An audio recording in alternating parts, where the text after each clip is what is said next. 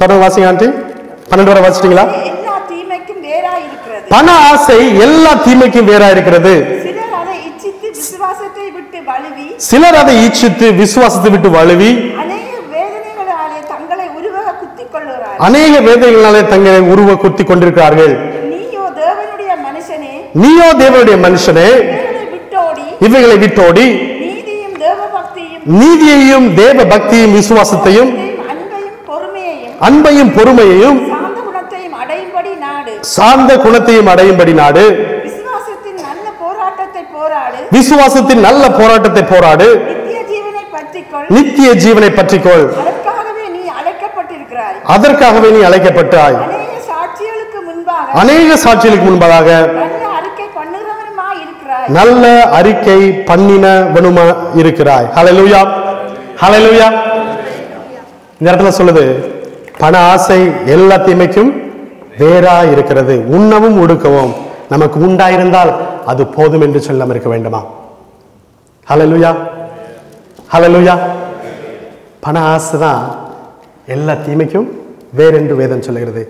அப்போ சில பவுல் தீமோக்கு தீமோத்தேய்க்கு எழுதுகிற வேலையில உனக்கு உண்ணவும் உனக்கு உடுக்கவும் ஓட இருந்துச்சுன்னா போதும். அந்த போதும் என்கிற மனமே பொன் செய்யும் மருந்துன்னு சொல்லி ஒரு தமிழ் அறிஞர் சொல்லியிருக்கார்.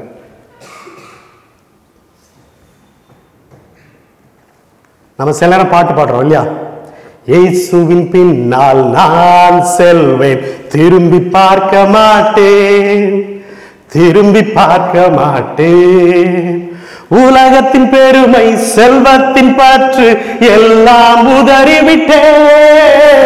உலகத்தின் பெருமை செல்வத்தின் பாற்று எல்லாம் உதறிவிட்டேன். உடல் பொருளாவி உடமைகள் யாவும் ஒப்பு கொடுத்து விட்டேன். சேர்ந்து பாருங்களேன். உடல் பொருளாவி உடமைகள் யாவும் ஒப்பு கொடுத்து விட்டேன். நான் அவர் ஆலயம் எனக்குள்ளே இயேசு நான் அவர் ஆலயம் எனக்குள்ளே இயேசு. என்ன நடந்தாலும் எவ்வேளையிலும் எப்போதும் துதித்திடுவேன். என்ன நடந்தாலும் எவ்வேளையிலும் எப்போதும் துதித்திடுவேன். இயேசுவின் பின்னால் நான் செல்வேன். திரும்பி பார்க்க மாட்டேன். திரும்பி பார்க்க மாட்டேன். விசுவாச கூட்டத்துல நிறைய இந்த பாட்டு பாடுறோம். ஹalleluya சில நேரத்துல ஒரு ஒரு போதகர் சொன்னாரு சில நேரத்துல ஞாயிற்றுக்கிழமை காலையில எல்லாரும் அந்த தேவனுடைய தூதர்கள் எல்லாம் சேர்ந்து அவங்க எல்லாம் பார்ப்பாங்களாம் பூமியில. ச்சே நமக்கு என்று எத்தனை சபைகள் எத்தனை கூட்டங்கள் எத்தனை தேவனுடைய ஜனங்கள் வந்து இப்படி ஆராதிக்கிறார்கள் என்று சொல்லி அவர்கள் பார்க்குற வேலையில சில பேர் பாடுற பாட்டெல்லாம் பார்த்துட்டு சில தூதர்கள் எப்படி சொல்லுவாங்களாம் என்னப்பா இவன் பொய் பொய்யா பாட்டு பாடுறான்? ஆ? ரயில்வே ஸ்டேஷன்ல சாம்பிள் கொடுக்கறதுக்கு ஒரு மணி நேரத்துக்கு வராதவன் உமக்காகத்தான் வாழ்கிறேன் ஐயா உயிர் நாட்கள். யாரையும் குற்றப்படுத்துறதுக்காக சொல்லல. சில நேரம் நம்ம பாடுகிற பாடல்களை நாம் உணர்ந்து பாடினால் அது நமக்கு நல்லதா இருக்கும். ஹலலுயா அது நம்முடைய ஆத்மாவுக்கு நம்முடைய ஆவிக்கிற வாழ்வுக்கு அது போஜனமா இருக்கும். ஹலலுயா உடல் பொருளாவி உடமைகள் யாவும் ஒப்பு கொடுத்து விட்டேன். சரி இப்படி சொன்னதுனால அடுத்த வாரத்துல இருந்து நாங்க பாட மாட்டோம். மீன் பண்ணா மட்டும்தானே பாடணும்னு சொல்லிருக்க நாங்க பாடல. நீயே பாடிக்கோ.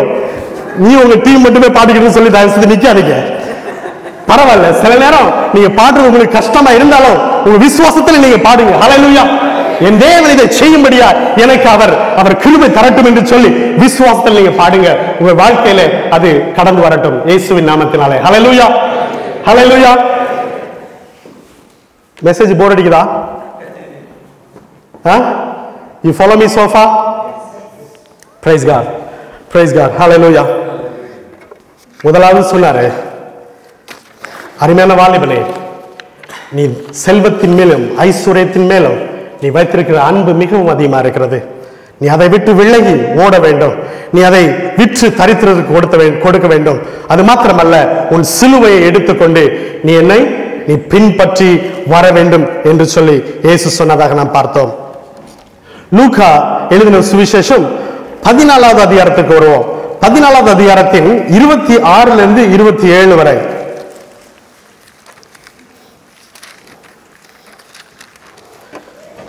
யாதொருவன் அது பதினாலாம் ப- ஆ, இருபத்தி ஆறுல இருந்து இருபத்தி ஏழு வரை. இருபத்தி ஆறு இருபத்தி யாதொருவன் என்னிடத்தில் வந்து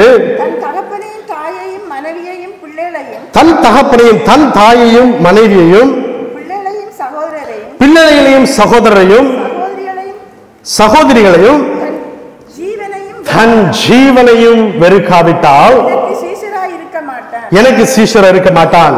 தன் சிலுவையை சுமந்து கொண்டு தன் சிலுவையை சுமந்து கொண்டு எனக்கு பின் செல்லாதவன் எனக்கு சீஷனா இருக்க மாட்டான். இயேசுங்க சொல்றாரு யாதொருவன் தன்னுடைய தன்னுடைய சொந்த தகப்பனையோ தாயையோ தன்னுடைய பிள்ளையோ தன்னுடைய சகோதரனையோ சகோதரியோ தன்னுடைய சொந்த ஜீவனையோ அவன் வெறுக்காவிட்டால் என்ன செய்ய முடியாதான் இயேசு கிறிஸ்துவின் சீஷனாய் இருக்க முடியாதாம். இது என்னையா கஷ்டமான தியாலஜியா இருக்குதுன்னு சொல்லி சில பேர் யோசிக்கலாம்? எனக்கு இந்த வார்த்தை வாசிச்ச வேலையில ஒரே ஒரு காரியம் மனசுல பட்டுச்சு இதுல ஏன் தன்னுடைய மாமனாராவது மாமியாராவது அப்படின்னு ஏன் போனதுன்னு யோசிச்சு பார்த்தேன் நானே.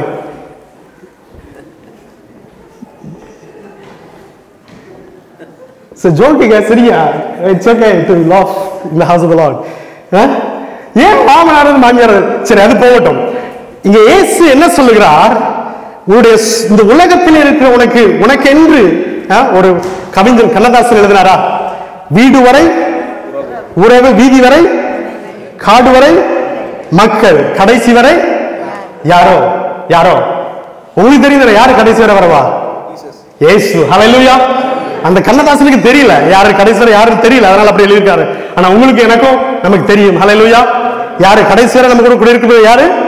ஏசு. ஹalleluya ஏசு. நம் மறித்தாலும் நம் உயிரோடு இருப்போம். ஹalleluya ஏன் அவர் மறித்தார் அவர் உயிர்த்தார்? அதனால நாம் மறிப்பாலும் அவரோடு கூட நாமும் எழுந்திருப்போம். ஹலலுயா இயேசு சொல்றாரு நீ உன்னுடைய சொந்த மனைவியையும் சொந்த புருஷனையும் உன்னுடைய பிள்ளைகளையும் உன்னுடைய சொந்த ஜீவனையும் நீ வெறுக்க வேண்டும். அப்படின்னா என்ன?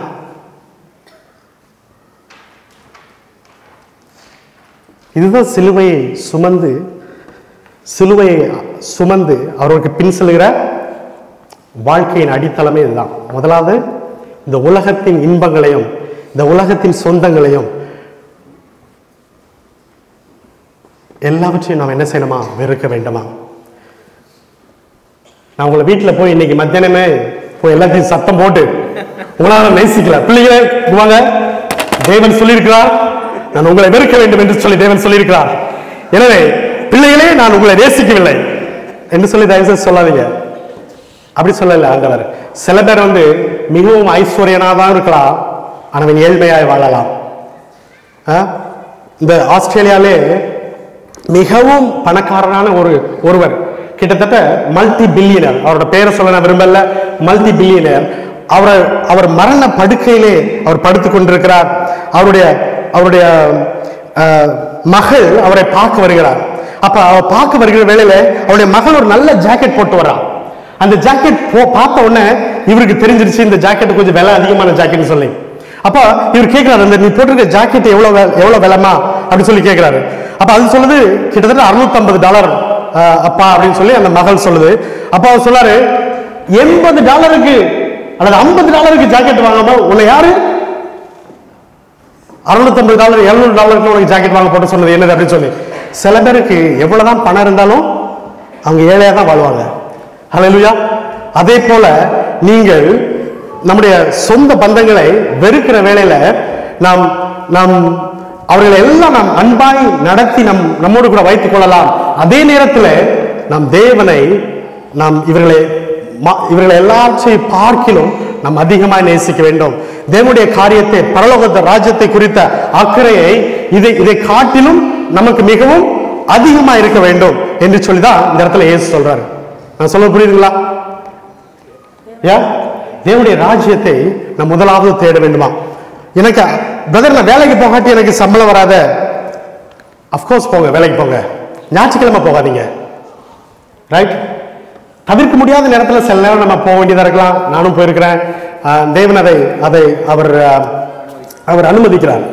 ஆனா நம்மளால முயன்ற அளவு என்னால முய இயன்ற அளவு நம்ம என்ன செய்யணும்? என் தேவனை நான் முதலா முதன்மையாக வைக்கிறேன். அவருடைய ஆலயத்துக்கு செல்வதை முதன்மையாக வைக்கிறேன். சில பேருக்கு நம்ம டைமே எடுக்கிறது இல்லை வேதத்தை வாசிக்கிறதுக்கு டைம் இல்லை. ஆண்டுடைய சன்னிதானத்தில் காத்திருக்கிறது டைம் இல்லை. ஏன்?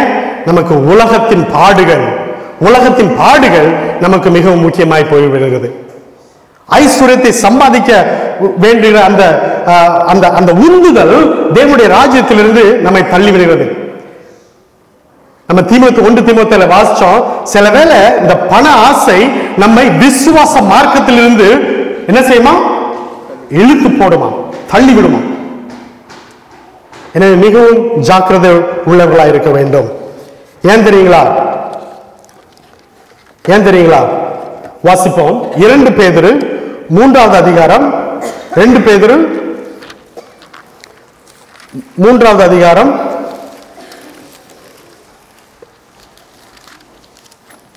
ரெண்டு பேதுரு மூன்றாவது அதிகாரம் பத்தாவது வசனம். ரெண்டு பேதுரு ஆண்டி ஒன்று பேதுரு இல்ல ரெண்டு பேதுரு. மூன்று பத்து.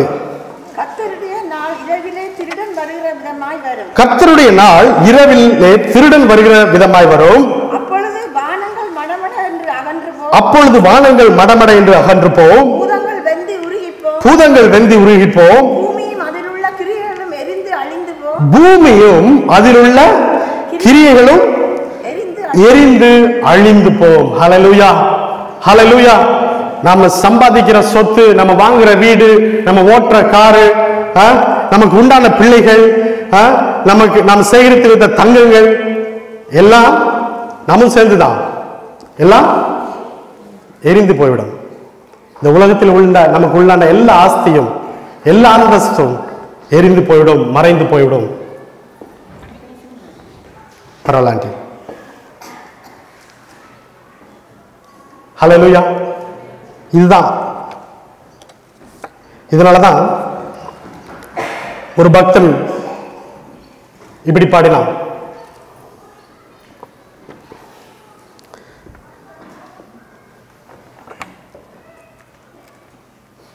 சரி இன்னொரு இன்னொரு வச- ஒரு இன்னும் ஒரே ஒரு வசனம் பார்த்துட்டு நம்ம அந்த பாட்டு பா- பாட்டை பார்ப்போம். ஒன்று குறைந்திய இருபத்தி இருபத்தொன்னு ஏழு. ஒன்று குறைந்தியர் இருபத்தொன்னு ஏழு.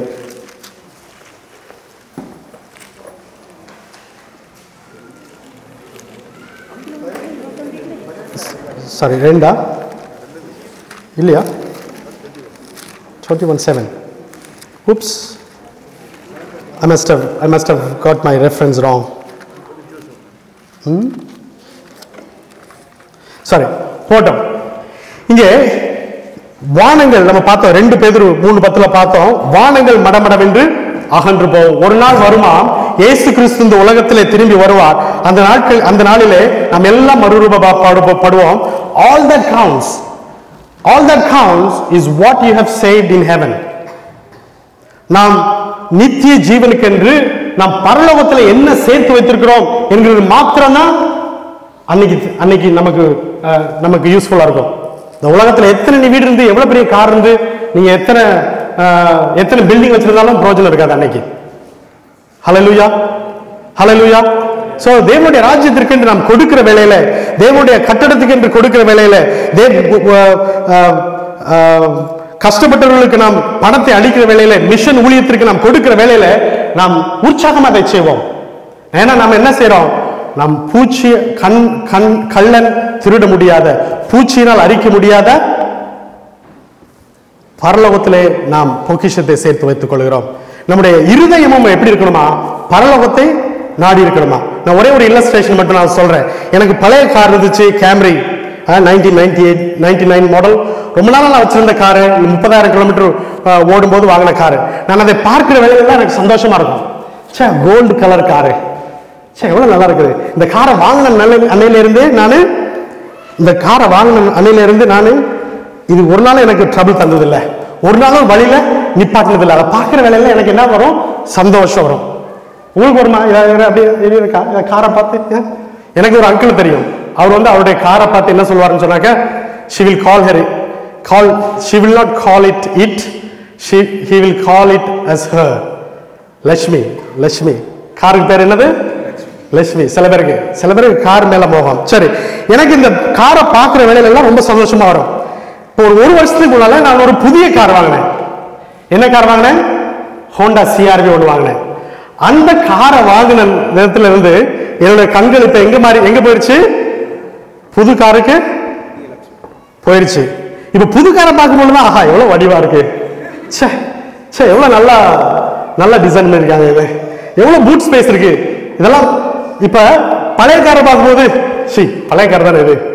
ஆ, dirty car all the scratches சில வேளையில் நாம் எதை அதிகமாக நேசிக்கிறோமோ நம்ம எதன் மேலே அதிகமாய் நம் நாம் நம்முடைய வேல்யூவை சுமத்துறோமோ அதை குறித்து தான் நம்முடைய சிந்தை இருக்கும். நம்முடைய இருதயம் எங்கே இருக்குமா? எங்கே நம்முடைய பொக்கிஷம் இருக்கிறதோ அங்கேதான் இருதயம் இருக்குமா? என்னுடைய என்னுடைய இந்த உலகத்தில் எனக்கு உண்டா? உள்ளான ஆஸ்தி அந்தஸ்து எல்லாம் எனக்கு எப்படி தோன்ற வேண்டும்? இந்த பழைய காரை போல தோன்ற வேண்டும். இந்த புதிய கார் எது? என்னுடைய பரலோகத்தில் நான் எனக்கு தே- எனக்கு- எனக்காய் தேவன் ஆயத்தம் பண்ணி கொண்டிருக்கிற வீடு. Hallelujah hallelujah you got my point hallelujah நாம் பரலோக சிந்தை உள்ளவர்களா இருக்க வேண்டும். காண்கின்ற எல்லாம் ஓர் நாள் கரைந்து போகுமே. தொடுகின்ற எல்லாம் ஓர் நாள் தொலைந்து போகுமே. I don't think I hit the note on that song பரவாயில்ல. ஆமே ஒரு பக்தன் இப்படி தான் பாடினான். காண்கின்ற எல்லாம் ஒரு நாள் கரைந்து போகுமே. தொடுகின்ற எல்லாம் ஒரு நாள் தொலைந்து போகுமே. என் ஆசை நீங்கப்பா என் தேவை நீங்கப்பா. இயேசுவே என் அன்பு நீங்கப்பா. என் சொந்தம் நீங்கப்பா என் சொத்து நீங்க தான்ப்பா ஹலலூயா இயேசு மாத்திரம்தான் நமக்கு நித்தியத்திற்கு சொத்து. இயேசுவை பற்றின விசுவாசம் மாத்திரம்தான் நமக்கு சொத்து. மற்ற எல்லா ஐஸ்வர்யமும் மற்ற எல்லா ஆஸ்தியும் மற்ற எல்லா அந்தஸ்தும் அது அகன்று போகும் அது நீங்கிவிடும். கர்த்தர் இயேசு கிறிஸ்துவின் மேலே நாம் கொண்டிருக்க விசுவாசம் மாத்திரமே நமக்கு உண்டான சொத்து.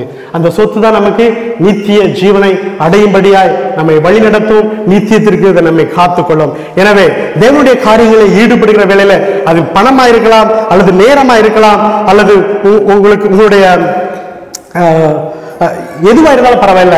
தேவனுடைய காரியத்திற்கென்று வருகிற வேளையில நாம் அதற்கு முன்னிலைமை கொடுத்து நாம் பரலோகத்திலே பொக்கிஷத்தை சேர்த்து வைக்க வேண்டும். இந்த புதிய கட்டிடத்தை நாம் கட்டுகிற வேலையிலும் ஒரு கட்டிடம் வந்து நம்ம அந்த அந்த கட்டிடம் கூட it is a temporary place. Hallelujah.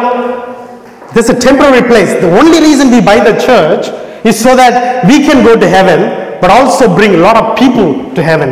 Hallelujah. நம் தேவனுடைய ராஜ்யத்தில் அவர் நித்திய ஜீவனுக்கென்று நாம் நம்மை ரட்சித்துக் கொள்வது மாத்திரமல்ல. இயேசு கிறிஸ்துவின் விசுவாசத்தினாலே மற்ற அநேகரையும் இவ்விதமான ரட்சிப்புகளை வழிநடத்தும்படியாகத்தான் நாம் புதிய ஆலயத்தின் காரியங்களை கூட நாம் ஈடுபட்டிருக்கிறோம். எனவே இந்த உலகத்தின் ஐஸ்வர்யத்தின் பணத்தின் மோகத்தை நாம் உதறி தள்ளிவிட்டு இயேசுவை குறித்த வைராக்கியத்தோடு கூட பரலோகம் தான் இன்னொரு இன்னொரு பக்தன் பாடினான் பரலோகந்தான் என் பேச்சு பரிசுத்தந்தான் என் மூச்சு. பரலோகந்தான் என் பேச்சு பரிசுத்தந்தான் என் மூச்சு. கொஞ்ச காலம் பூமியிலே கொஞ்ச காலம் பூமியிலே இயேசுவுக்காய் சுவிசேஷத்திற்காய் இயேசுவுக்காய் சுவிசேஷத்திற்காய். தன்னண்ணா தன்னண்ணா தன்னண்ணா சேர்ந்து பாருங்க. தன்னண்ணா தன்னண்ணா தன்னண்ணா தன்னண்ணா தன்னண்ணா தன்னண்ணா பரலோகந்தான் என் பேச்சு பரிசுத்தந்தான் என் மூச்சு. பரலோகந்தான் என் பேச்சு பரிசுத்தந்தான் என் மூச்சு. கொஞ்ச காலம் பூமியிலே கொஞ்ச காலம் பூமியிலே இயேசுவுக்காய் சுவிசேஷத்திற்காய் இயேசுவுக்காய் சுவிசேஷத்திற்காய். தன்னன்ன தன்னன்னா தன்னன்னா தன்னன்னா தன்னன்னா தானா ஆமென் பரலோகம் தான் நமக்கு பேச்சு. ஹலோ ஹalleluya எல்லாரும் எழுந்து நிற்போமா? கொஞ்ச நேரம் கண்களை மூடி. நமது நாளில் நம் தியானித்த இந்த வார்த்தைகளை ஒரு விசை நம் இருதயத்திற்கு மன கண்களுக்கு முன்பாய் கொண்டு வந்து பார்ப்போம்.